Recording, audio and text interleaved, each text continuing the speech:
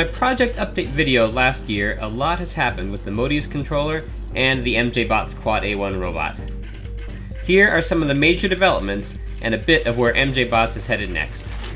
See lots of fixing problems, speed records, and walking in new and varied conditions. Click like and subscribe to follow developments as they happen. Let's get started.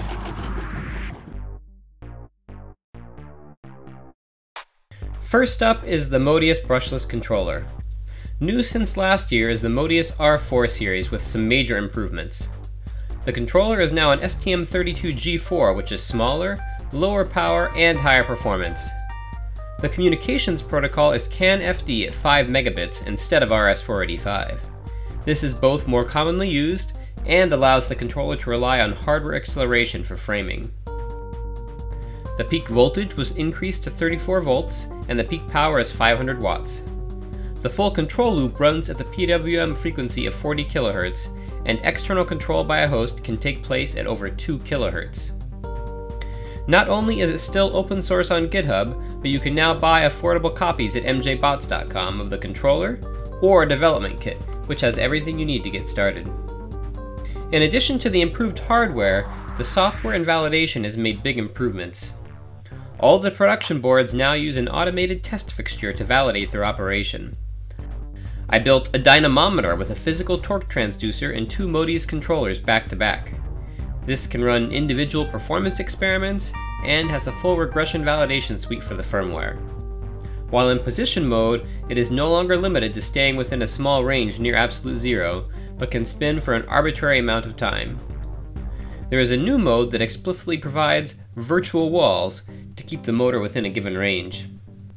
I added compensation for magnetic saturation, which means that the commanded and reported torque is accurate even as a motor reaches the limits of the peak torque it can produce.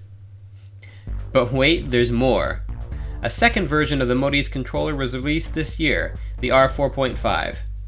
While this is a minor revision, it does increase the input voltage range to 44 volts, and is fully electrically, mechanically, and software compatible with the R4.3. A lot of the past year was spent refining the QDD100 quasi-direct drive actuator. The prototype version used in the Quad A0 still had some 3D printed plastic components, which were bulky and not terribly robust. I spent a lot of time learning CNC machining and prototyped all the necessary components for an all-metal servo actuator in-house first with a functional validation, then again with a version optimized for weight and performance. The final version weighs about 470 grams, has a peak design torque of 17 newton meters, and a maximum speed at 24 volts of around 2,400 degrees per second. I made a first pre-production build of these servos in a beta form, which I used to build the newest quadruped, the MJBots Quad A1, and have made them available for sale at mjbots.com, also with a development kit. Now, motor controllers and servos are great, but they're not all you need to build a robot. Not just because I needed them, but because anyone building a robot needs them, I've developed and released a series of accessories that let you put together a complete robotic system. First up is the FD CAN USB. This is just a low-cost CAN FD to USB converter without any frills. It is designed to work with the moteus controller family, so it comes out of the box configured for the appropriate bit rates. Second is the MJBots Power Dist Board. It implements a pre-charge function so that you can safely power up a lot of high capacitance motor drives from a battery, has a bunch of connectors to power legs, arms, whatever you may want, and can provide a soft switch so that your robot can shut itself down cleanly when power is turned off. Finally, we have the Pi 3 hat. This is a Raspberry Pi 3 or 4 hat that exposes four CAN FD buses, one low-speed CAN bus, an IMU, and a port for an NRF24L01 RF transceiver. It also provides power to the Raspberry Pi from an input source of up to 34 volts. There are C++ libraries and example projects to control moteus servos, and I've used it for all of my embedded control demonstrations.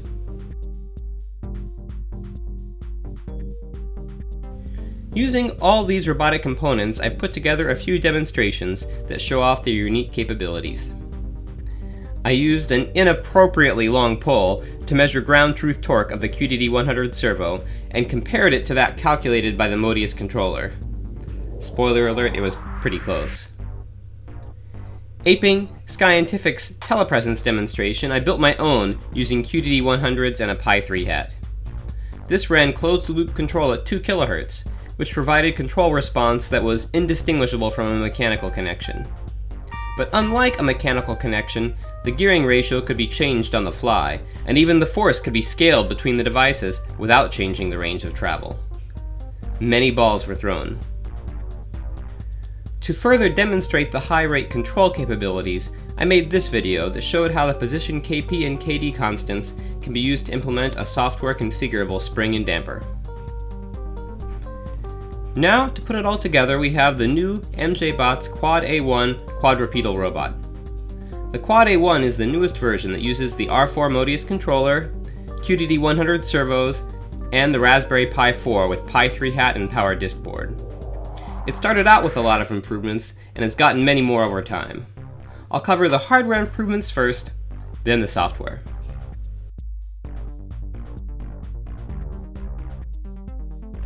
One of the earliest and ongoing challenging design points with the Quad A1 is the lower leg and foot.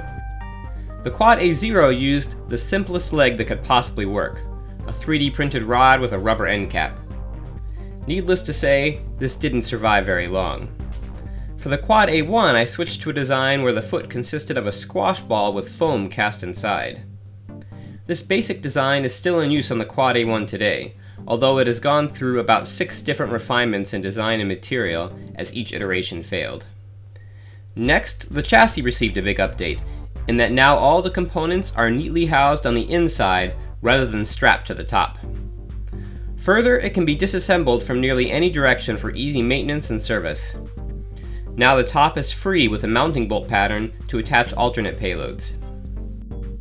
The current leg configuration requires that the cables between the upper and lower leg move during each swing cycle of a leg. As the robot has walked more and more, that design has needed iteration as well. First, I went with some braided sleeving, and most recently have switched to continuous flex motion conduit, which I tested for 100,000 cycles to ensure that it would last for some time while walking.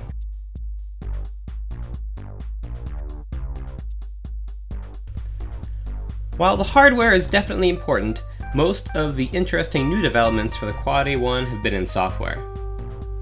One of the basic improvements the Quad A1 has seen was performing force control and compliance in the 3D Cartesian coordinate space rather than purely in the joint coordinate frames.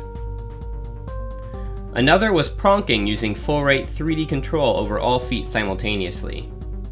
While not a particularly efficient form of locomotion, it does signal to all potential predators that the Quad A1 means business. To actually make progress developing more advanced gaits, I upgraded the telemetry logging format and developed the tplot2 diagnostic tool. This allows you to scrub through time while viewing a log using either a tree view of all data recorded by the robot, configurable 2D plots of any data value, 3D renderings of the robot joints, or time synchronized video. To make progress without having to continually break robots, I resurrected the Dart-based simulation environment that I had used for previous hobby servo robots and connected it to the Quad A1 software. I also used the NRF24L01 radio interface for the first time. This uses spread spectrum frequency hopping techniques to send commands and receive telemetry from the robot in a low latency manner. Most debugging control still uses Wi-Fi, but in some environments like convention centers and demonstrations, Wi-Fi can be nearly impossible to use reliably for real-time control. Some of the most consequential changes were in the gait engine that controls how the legs move to achieve a particular pose or velocity over ground.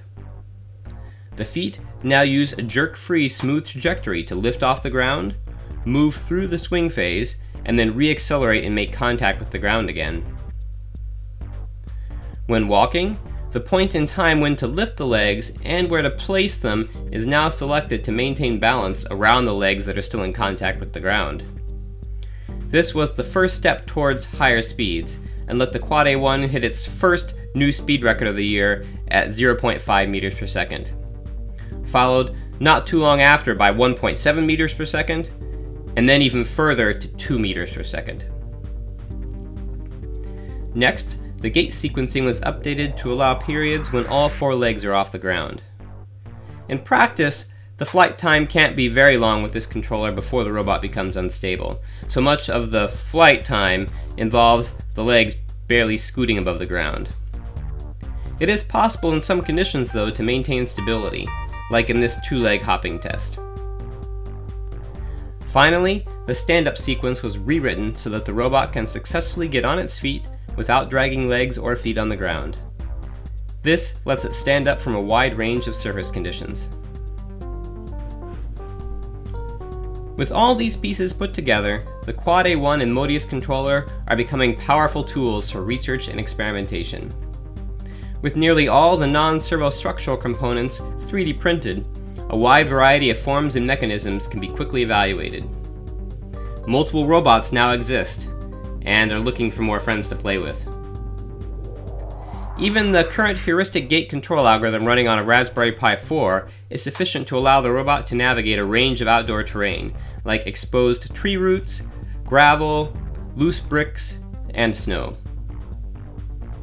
Combined with the ability to have short flight periods, flat ground gaits are now very close to proper running, with an observed maximum speed of 2.5 meters per second. That's all I have for now. If you want to keep up to date, join our Discord server from the link below, like and subscribe to this video, and follow MJBots on any of the social networks. Thanks!